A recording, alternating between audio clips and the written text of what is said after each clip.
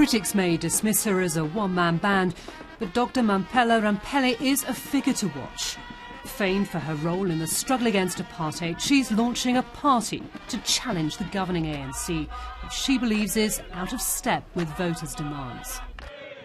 If South Africa doesn't own the future and stop focusing on the past, it will become a very sad place. A country with enormous potential, with our natural resources, our mineral resources, our human resources, and yet underperforming our potential. As you can see with these beautiful buildings, they demonstrate the inequality that exists in South Africa. Sibusiso is part of an urban post-apartheid generation. The group Dr Ramphele's party seeks to target, but she's unlikely to get his vote for one simple reason. Her party doesn't have experience in terms of governance, and also people have lost interest in terms of voting. Why? Because political parties no longer deliver services to them. The new party's promise to grow the economy and create more jobs may hold much appeal for South Africans, but many want the ANC to deliver this. Loyalty for the party that brought liberation still runs deep.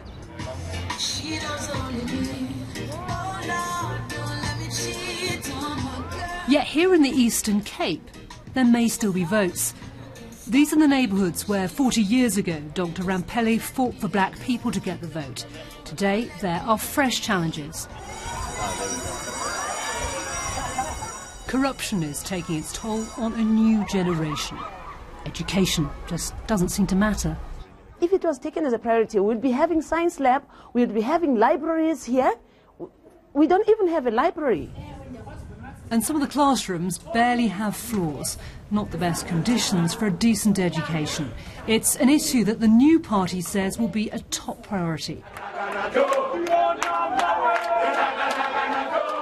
Dr Ramphele may not be as light on her feet as South Africa's president, but her party has pledged to stamp out corruption and hold leaders to account. Two reasons why some disillusioned voters might just give her a chance. Karen Allen, BBC News, South Africa.